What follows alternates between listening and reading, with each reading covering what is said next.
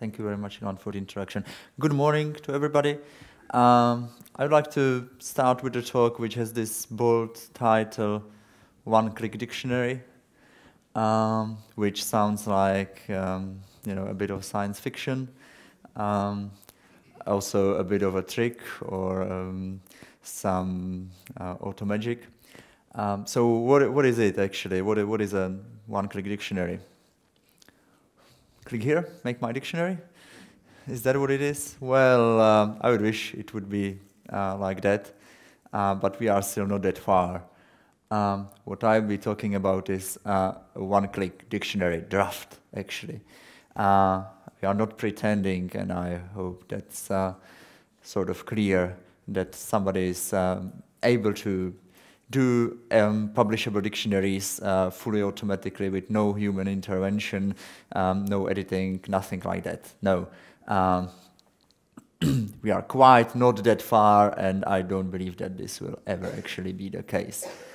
Um, so, um, going, you know, making a very quick review of um, two papers, one from 2011 and uh, one from 2014. In 2011, uh, Adam Kilgarriff, Mike Rundell, they reviewed the automating of the creation of dictionaries, and they uh, they assume and they, they state basically that uh, all the things like headword uh, uh, headword development and identification of things like collocations and examples and um, you know, text type analysis, labels, um, can sort of be automated, can sort of be done with, uh, with um, uh, high accuracy uh, at the moment. And what remains to be tackled are the definitions and word senses. Now, um, I'd like to show an approach that also includes definition and word senses. Uh, the accuracy is, uh, of course, uh, much less than in case of things like examples. Um, but I'll be talking about um, later about um, how much that, how, what is the role of the, the accuracy in the, in the, um, in the drafting process. In 2014, um, Adam was writing an article uh, about 10 years of Sketch Engine, uh, where he uh, also mentions the, you know, in one of the very first, uh, uh, very first paragraphs that the 10 years besides the automation have witnessed uh, the near death of dictionaries on paper, lamented by some and celebrated by others. Um, so these are, I think, the two uh, most dramatic changes over the past 10, 15 years in lexicography, the increase of automation and the near death of paper dictionaries. Uh, I think both of them actually uh, are for good. Both of them uh, enable us to uh, move forward with the whole lexicographic process and workflow. And uh, I'd like to talk about uh, one type of such a shift towards something that I call post-editing lexicography, where lexicographers don't start creating dictionaries, corpus-based dictionaries, of course, from scratch, but uh, they start on, a, on an automatically derived, automatically produced draft. Um, if you if, if, if I look at what uh, where did the automation end or what does it end at the moment in Sketch Engine, then I think that the most advanced automatic function was the tick box lexicography developed already back in 2009, I think, uh, which enables users uh, to go through a word sketch, uh, tick individual collocates in the word sketches for these uh, for these collocations then to obtain good dictionary examples and export some of them uh, up to the uh, up to the user discretion into a predefined XML template, which uh, you know uh, which can be adjusted project by project and copy pasted into a dictionary writing system. Now, while this is um, sort of an advanced automation, uh, there are still lots of intermediate steps, lots of clicking, lots of choosing of collocates, examples, and finally the very cumbersome step of, of um, you know, copy pasting, which is just something that you don't want to do regularly, and uh, it's just a waste of human time. Uh, what I'd like to present today is, a, is an approach where you start with a corpus, you click in the corpus, and you really get with without further intervention, intervention and uh, dictionary draft that is then post-edited by lexicographers. Uh, now, this post editing, I think I should make a small intermezzo here. Uh, is it for better or worse? Uh, I think, uh, and I, I, I, think we need to have this discussion from the very beginning. Uh, there are some dangers involved, and I always relate this to the field of translation, where post-editing is coined and um, you know is a paradigm that is uh, already being used for some time. And at the beginning, it was really perceived very negatively. I think there were two reasons for that. Um, one of them was that the technology was still not mature enough when uh, post-editing was introduced in, in translation as a, um, you know, uh, the, the, machine translation systems were, were not mature enough. And the other is that the main motivation really was the push from translation and localization agencies to cut the costs, right, to find arguments why to pay less to the people.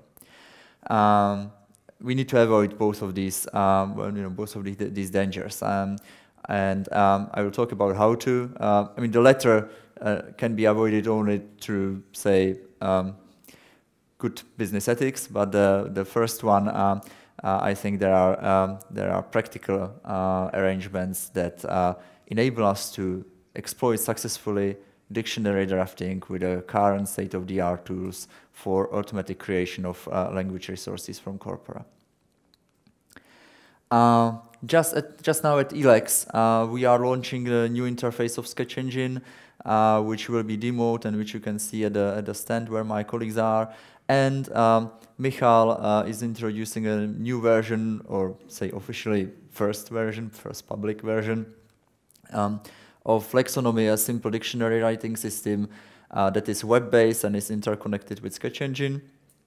And um, um, all of this work, this one-click dictionary, is basically uh, building on top of these two things on the on the new sketch engine interface and on uh, on Lexonomy that Michal was working working on uh, over the past two years.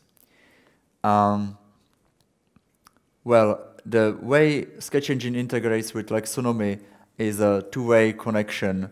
Uh, first, I mean, one, one way is that you start with a, a with an automatic draft from Sketch Engine into Lexonomy. Uh, and the other is uh, that you can link back to the corpus evidence from Lexonomy. Uh, the preserving the corpus evidence is very important, and we are aware of that because uh, there is no sense in devising black boxes which yield some data that you uh, cannot look into and that you cannot verify by looking at the actual concordance lines. Um, so we do want to preserve that.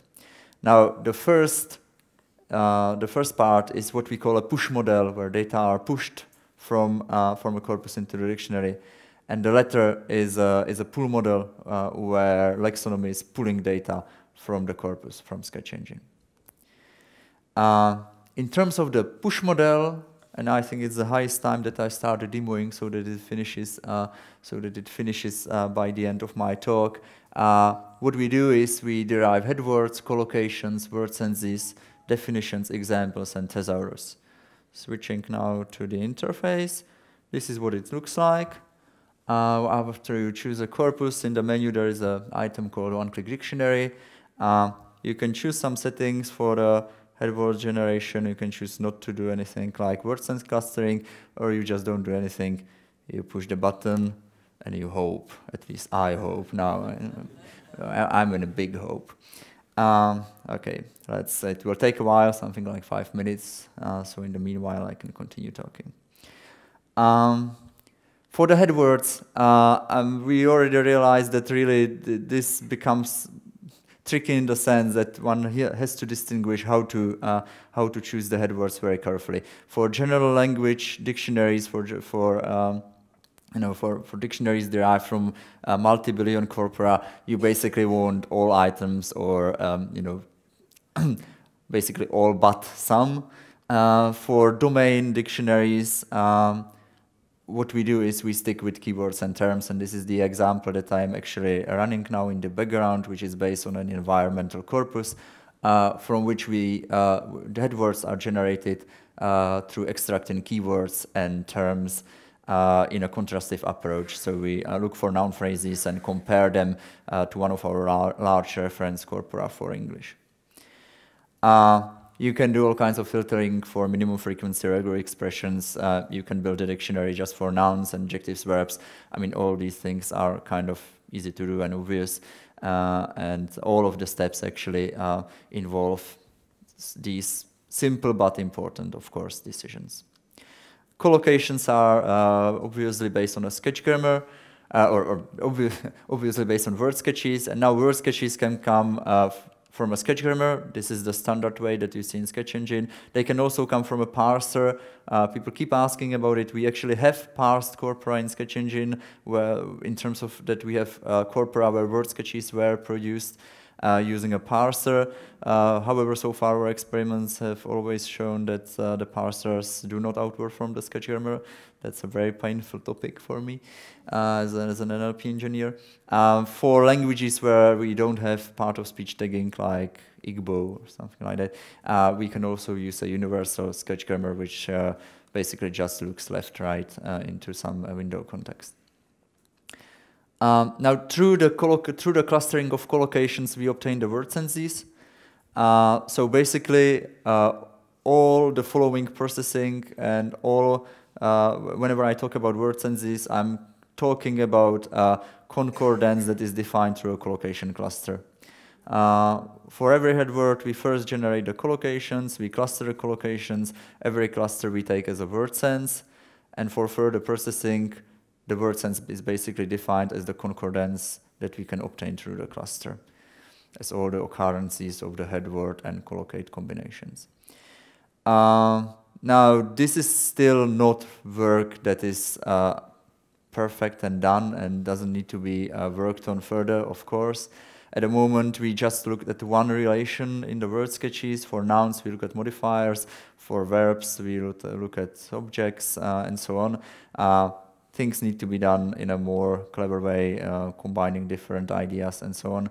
Uh, but uh, still, at this time, it already yields some useful results, and uh, I and it's generally something that I will be emphasizing through the throughout my talk. This is about building some machinery that makes also development of all these extraction tools easier, uh, easier in terms of evaluation, easier in terms of testing, easier in terms of getting feedback from users whether it works or not.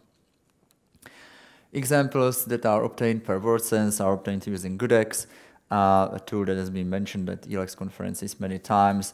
We score the concordance according to criteria like um, you know not too short sentences, not too long, senten not too long sentences, not too much uh, function words, uh, not too uh, not too many function words, not too many uh, not too many rare words, and so on.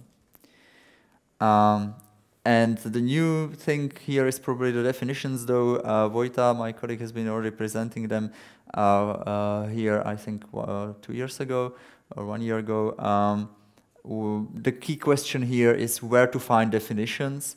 Um, so far, the best approach that we have is really always look for them in Wikipedia. However, um, a more plausible way, in many cases, would be looked in the actual source corpus that you generate from, right? Because then the definition might be more suitable. The trouble, however, is people don't use definitions when talking, right? So definitions are often just not there. So there is nothing to find. There is no sense to, to devise methods for looking that up. So at the moment, the, the primary approach simply sticks to Wikipedia. But uh, again, uh, there should be more work uh, done on this. And finally, uh, we obtain some thesaurus items, uh, as you know them from Sketch Engine, uh, not clustered into different relations. So it's a bunch of synonyms, antonyms, meronyms, hyperonyms, hyponyms, and so on. Okay, uh, and really, from the point of view of how we operate, uh, every entry is a concordance or a set of concordances in terms of the word senses, and any further processing operates on those concordances. So the system is very modular. Each of the steps where you add examples, you add definitions, you add thesaurus, whatever, the input is a concordance, you add one of these things, and the output is a concordance plus the thing you have added. Uh, in this way, uh, the whole thing uh, that we have developed, the one-click dictionary, is kind of a puzzle that we can very flexibly combine and uh, easily rearrange in terms of when to do the word sense induction and uh, when to look for the examples, uh, whether we first, whether we really first do through the go through the word senses, or whether this is something that that we should do afterwards. And uh, this is also important for us because uh, by far this is not uh, something that would be finalized and uh, um, you know not not uh, not developed further in terms of the uh, in terms of the research on the individual extraction tools. Um, there are lots of tiny questions that pop up here and there throughout the whole pipeline of the one-click dictionary. I think most of them are obvious, like where to look for the def definitions, when to use explanations instead of definitions, for instance, pictures, and obtain them automatically from things like uh, Google Images API, how to deal with word senses, how to induce them, when to induce them. This is really, I mean, the word senses are at the heart of the process. Uh, um, we, we all know that. Uh, Okay, now uh, in, uh, once the draft is ready in, in, uh, in Lexonomy, uh, what, comes, uh, what comes now from the lexicographer's point of view is this lumping and splitting, fixing and tweaking, and it should be by all means fast and easy. That's our goal, where to go with, with, with Lexonomy to make the post-editing really comfortable, so that it doesn't happen what happened in the translation field, that uh, lots of translators were saying, I can just delete the whole thing and translate from scratch. So I think the, the, the success, in my point of view, is defined as that the, the, the draft is uh, faster to edit than if the lexicographer would just delete the whole and start from scratch. If this would happen, then we have obviously failed, right? Uh, okay, that's for the push model. I hope this is now done. Okay, the button is green. Um, we can open the dictionary. Here it is. Uh, we can go and edit it. And there are just something like 20 entries that, uh, that, I've, uh, uh that I've asked to extract from uh, because I wasn't sure how long it really will take. If I click on one entry like emission, um, you see that um, that's the head word. Uh, these are the two word senses. these are the collocations. these are the definitions sulfur dioxide emissions are a precursor to acid rain and atmospheric particulates, or every single sentence is one definition, definition candidate. Then we have the examples in gray and thesaurus items, thesaurus item in red. Uh, the clustering into words in sort of works here in the sense that uh, this is uh, the emission as a as a kind of phenomenon, and this is the this is the emission as a as a chemical stuff, right? Um, so and then we have uh, uh, oh yeah, and then we have uh, emission as a as a um, sort of no. This is the emission as the phenomenon. Sorry, I've mixed that up. And this is the emission as the as the these two are the emission of the as the chemical stuff. So these two possibly should be merged into one, and this one, the third one, should be kept, right? And um, now you can go and edit the entry. Um, you know, fiddle with the senses. Uh, the lumping and splitting needs still to be worked on here, but uh, I think you get the idea.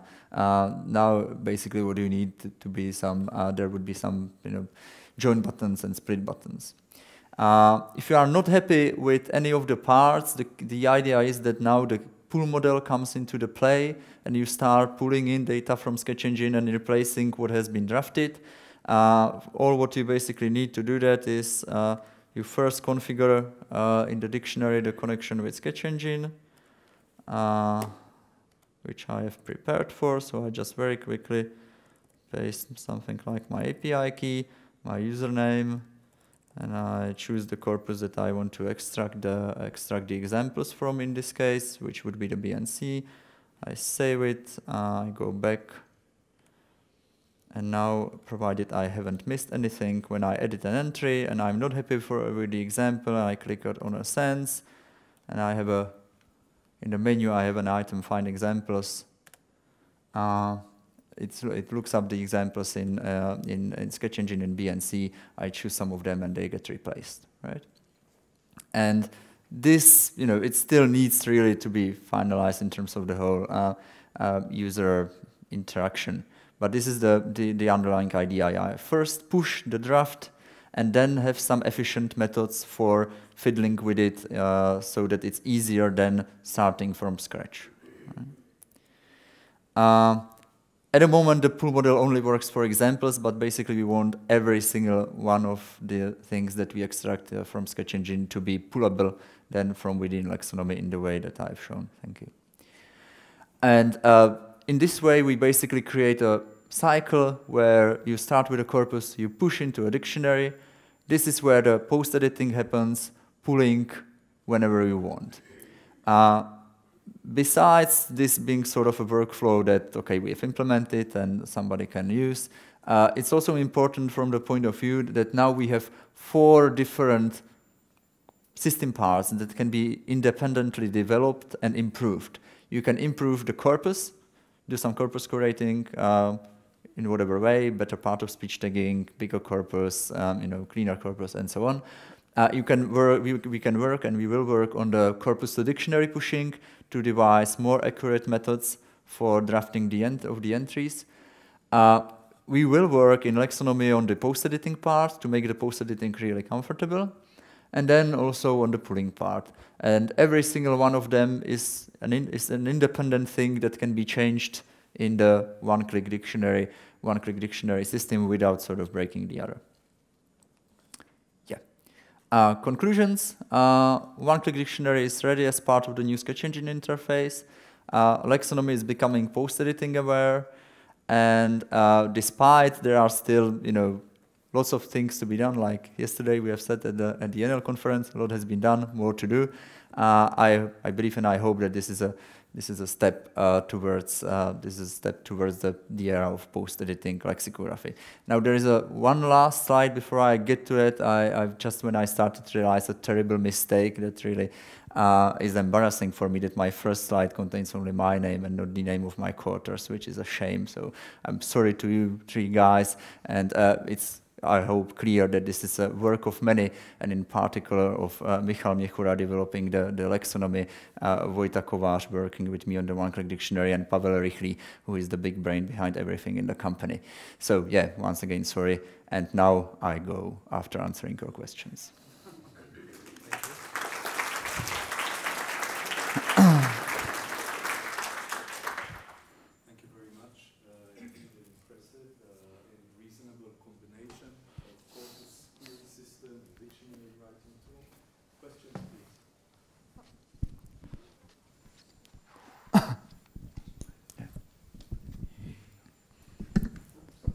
Um, hi, yeah, I was just wondering if you had done any experiments towards bilingual dictionaries, or is it just focusing on? Yeah, not yet, but you know, it, it's an obvious follow-up. So uh, in Lexonomy, there are two templates at the moment: one for uh, one for monolingual dictionaries, one for the bilingual, uh, one for the bilingual case.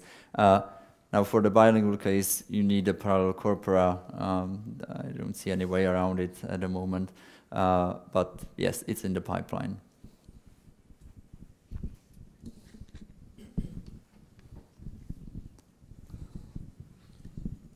Yes, uh, thank you. I have a question about uh, this uh, sense induction for other languages. Now, I wonder whether it will work for other languages. Uh, what do you think will be the, the minimum requirements for, for the corpus uh, the system wants for, for working in a, yeah. in a decent way? Yeah. At the moment, that is something, I mean, thanks for the question. Uh, the system is such, it's language independent, so uh, I've demoed on English, but uh, wherever you have word sketches, uh, it will work, uh, the, the, word sense induction will, will, work in the very same way. Uh, now, how big the corpus should be, that's a very good question. And here we get into things like, um, okay, if we have a small corpus, should you use for the word sense induction also information from other corpora or not? I mean, technically, this is of course doable. You know, you can boot at, bootcat a small corpus and um, try to do the word sense induction. Uh, if you will bootcat a one million word corpus, the word sense induction will be, you know, garbage most likely. But you could use information from a very large corpus to to make it better. Sometimes this is desirable. Sometimes it might not be right if the if the topic is very very restricted and very different from what you will find in a in a general uh, language corpus. So uh, yes, this is one of the tricky things that I think we still need to think about and come with some reasonable approaches. But uh, back to your question, uh, as for other languages, what concerns other languages, everything what is there is available uh, except for the definition finding. That at the moment uh, is, is language dependent and works for English only, but the rest will be the same. Okay, so I will. Um, I'm very much in favor of this kind of strategy. I'm wondering, however, um, the backbone of um, the system seems to be the well the different senses.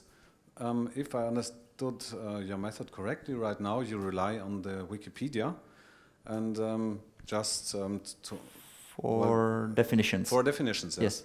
So in, in other terms, the entry I get um, by your um, push method yeah. is um, the Wikipedia definitions plus examples plus collocations.